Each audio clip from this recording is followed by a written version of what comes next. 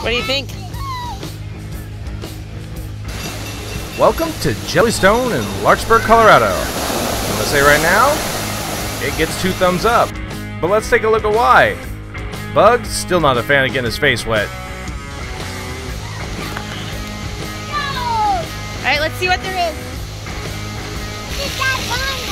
Uh, water slide? You guys are gonna want to play. There. I'll tell you right now, for a small water park, we're not mad about it. The slides, nothing to shake a stick at. In the end, Okay, so kids enjoyed today it. is Friday, Weekends, mid-August. a whole lot busier. Is a lot busier, as you can see, than our other days were. We'll definitely stick to the weekends for working. But why work inside when you can work outside? And Jellystone, that's your background for Zoom calls. But you still got to get down and groovy for those huge Zoom conferences. So do it in your room. Now, the weight room, absolutely gorgeous. I didn't use it, but someone will. The outdoor space, I'm going to give it some props here. It was a very nice space, great for large gatherings.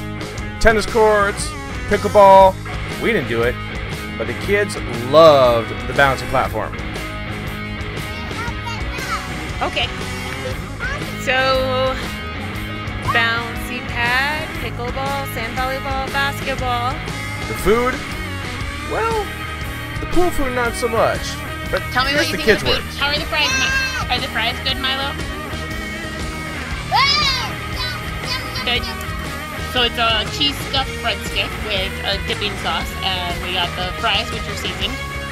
Milo likes the breadstick. Milo likes the fries. How is your sandwich? Yeah. It's edible. Edible as Okay. cardboard. I got this. Pulled pork. It is, the bun is hard and soggy at the same time. The spots were nice and wide. Very nice gravel, but not meant for those that like to go barefoot. What? Yeah. It's 18 holes. Um, Putt putt was free. The kids got pretty good at it. Max did a good job. Bug still playing by hand. Now with skies like this, I had nothing to complain about. Nighttime fires with their fire pit, do some s'mores, great time. But when the rain comes, it's kind of loud. But not as loud as the trains that come by every hour.